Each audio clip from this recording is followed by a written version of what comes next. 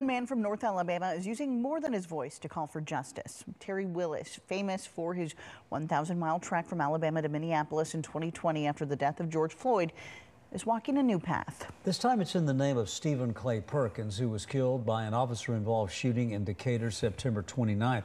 Last night, Terry Willis and others came together for a demonstration as they hope to get a step closer to finding out exactly what happened. News 19's Mariah Wiggs joins us live in Decatur with more.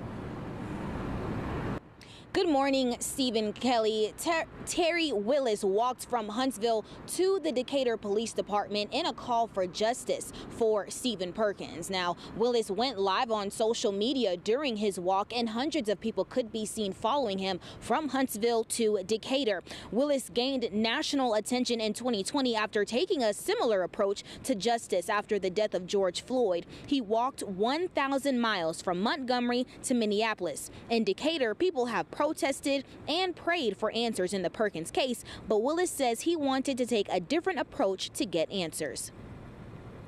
I wanted to do something that would speak without speaking. You get what I'm saying? So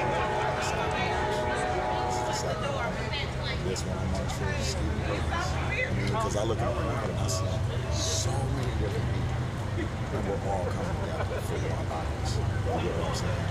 So I just, I feel like we need to do this more often. We shouldn't have to wait for a tragedy